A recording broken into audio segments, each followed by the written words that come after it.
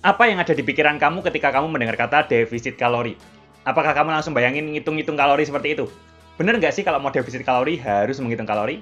Kita simak jawabannya di video berikut ini. Oke, sebelum kita mulai cerita hari ini, seperti biasa, aku mau tanya dulu nih. Menurut kamu, supaya bisa defisit kalori, itu perlu menghitung kalori atau enggak? Coba tulis di kolom komentar ya pendapatmu, kutunggu dulu. Pause dulu aja video ini. Satu, dua, tiga. Ya, thank you yang sudah nulis pendapat di komen. Sekarang kita mulai cerita hari ini. Nah, miskonsepsi soal defisit kalori yang mau aku bahas di video ini adalah masih banyak orang mengira kalau defisit kalori itu artinya adalah orang harus menghitung kalori. Enggak, ini salah. Ketika aku bilang soal defisit kalori, bukan berarti kamu harus menghitung kalori. Gini, udah aku jelasin berkali-kali, kalau mau menurunkan berat badan itu kita perlu defisit kalori.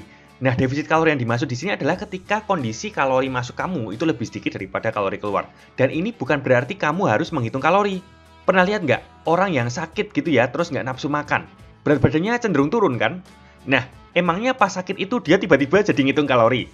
Enggak, ya secara nggak sengaja asupan kalori masuknya makin sedikit karena nggak nafsu makan tadi. Padahal kalori keluarnya saat sedenter mungkin naik karena demam. Jadinya nggak sengaja ya dia defisit kalori. Pernah lihat orang-orang di daerah kelaparan atau daerah yang sangat miskin di mana orang-orangnya susah makan? Kurus-kurus kering-kering kan? Nah, apakah orang ini ngitung-ngitung kalori seperti itu? Ya enggak, ya karena tadi punya uang untuk beli makan aja enggak, atau makanan aja enggak ada, kalori masuknya ya sedikit, ya mayoritas hidupnya kekurangan energi, alias banyak defisit kalorinya. Sebaliknya juga deh, kita tahu kalau mau menambah berat badan, kita perlu surplus kalori. Tapi nggak berarti supaya surplus kamu harus ngitung kalori. Coba cek teman-teman kamu yang setelah pandemi ini ngeluh berat badannya naik. Emang tiba-tiba saat pandemi mereka jadi ngitung kalori? Ya enggak, ya simpel aja, mungkin mereka konsumsi energi lebih banyak saat pandemi, sedangkan kalori keluarnya mungkin makin dikit karena aktivitasnya dibatasi. Akhirnya surplus saat pandemik dan berat badannya nambah. Paham ya, defisit atau surplus kalori itu adalah suatu kondisi keseimbangan energi dari apa yang kita konsumsi dan yang kita keluarkan sehari-hari. Beda dengan menghitung kalori. Menghitung kalori itu adalah salah satu metode aja. Sekali lagi, cuman metode aja untuk membuat seseorang bisa lebih akurat memastikan dia dalam sehari itu defisit atau surplus kalori. Bedakan ya, prinsip dan juga metode. Nah sebenarnya disarankan nggak sih menghitung kalori kalau memang lagi niat pengen defisit kalori? Kalau ini jawabannya tergantung.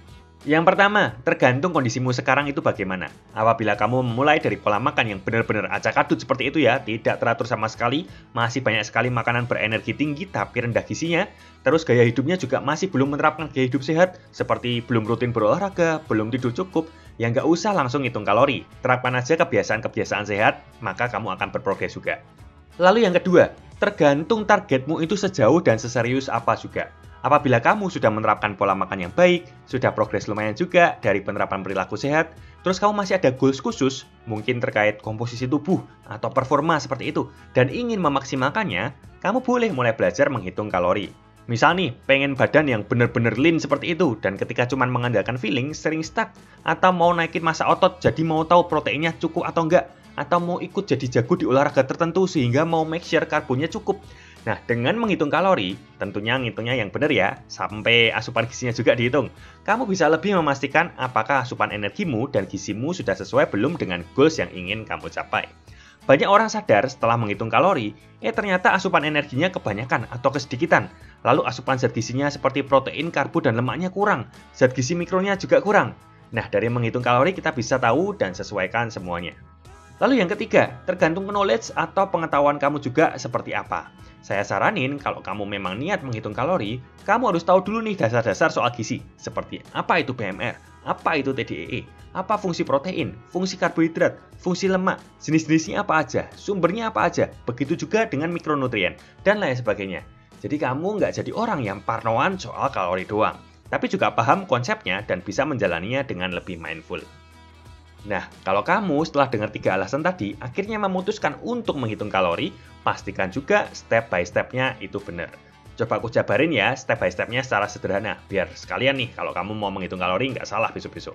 Intinya, ketika kita menghitung kalori, berarti kita akan memperkirakan dulu berapa kalori yang kita keluarkan dalam sehari. Karena dari sini kita tahu, kita perlu makan seberapa banyak. Nah, untuk menghitung kalori keluar, kita perlu menghitung yang namanya BMR atau RMR dulu, alias kalori yang kita keluarkan ketika kita nggak ngapa-ngapain saat istirahat.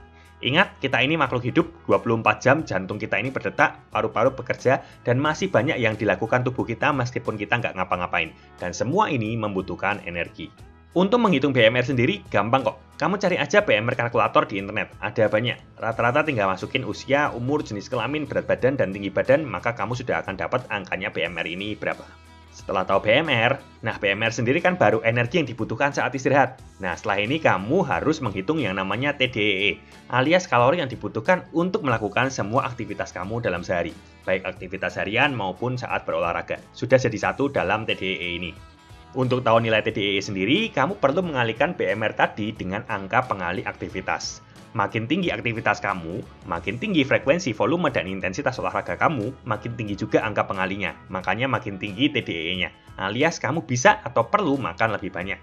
Makin rendah aktivitas kamu, makin sedikit frekuensi, volume, dan intensitas olahraga kamu, ya makin sedikit juga angka pengalinya, makin rendah juga TDE kamu. Kalau kamu sudah dapat angkanya, nggak perlu buru-buru langsung defisit atau surplus seperti itu ya. Cek dulu aja di angka ini benar-benar nggak maintenance kamu. Karena kalau benar, harusnya kamu makan di angka segini, nanti berat badanmu akan stabil. Nah, meskipun kamu sudah tahu TDE kamu, kamu baru tahu nilai energi yang kamu perlukan dalam sehari doang. Kamu belum tahu dari mana energi itu akan datang. Nah, ingat, energi itu bisa datang dari karbohidrat, protein, dan lemak. Jadi jangan sekedar hitung kalori, tapi hitung juga pembagian makronutriennya seperti apa. Untuk makronutrien sendiri, simpelnya hitung dulu kebutuhan protein kamu supaya tercukupi. Nah, sisa kalorinya bisa dialokasikan untuk karbohidrat dan lemak dan atur aja sesuai preferensi banyaknya. Utamakan yang kualitasnya bagus ya. Lalu sederhananya untuk mikronutrien, makan juga sehari paling tidak dua porsi buah dan tiga porsi sayur. Ini akan membantu kamu mencukupi kebutuhan zat gizi mikro kamu. Kalau kamu merasa sulit, ya pelan-pelan aja. Bisa dibantu dengan multivitamin juga yang dosisnya rendah. Ingat, utamakan dari makanan ya, jangan mengandalkan multivitamin doang. Nah, sekarang udah komplit. Kamu sudah tahu tuh kamu butuh energi berapa banyak dan pembagian zat gizinya bagaimana. Sekarang kamu bisa kalkulasi kalori masuknya. Gimana caranya? Yang pertama, kamu perlu siapin dulu timbangan makanan dan timbang semua makanan yang kamu makan.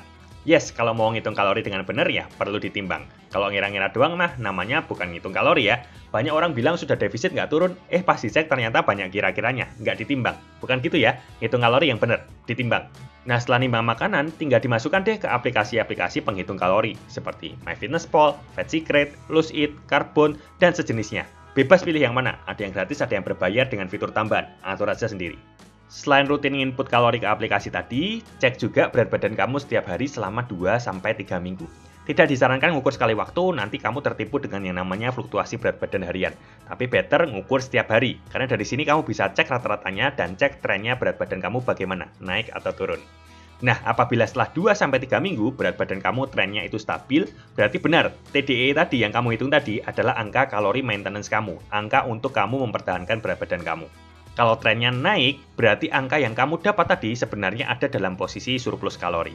Dan kalau trennya turun, berarti angka yang kamu dapat tadi sebenarnya sudah dalam posisi defisit kalori. Nah, dari sini kamu bisa atur lagi kalorimu secara bertahap, mau ditambah atau dikurangi sesuaikan dengan goals kamu. Oke? Disarankan juga cek lingkar-lingkar tubuh dan performa juga ya selain berat badan.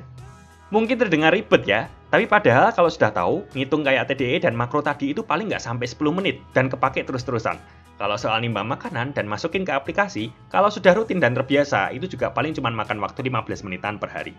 Selain itu, ada banyak cara juga kok untuk mempermudah sekaligus bikin kalori counting kamu makin akurat juga. Seperti meal prepping, jadi nyiapin makanan sendiri.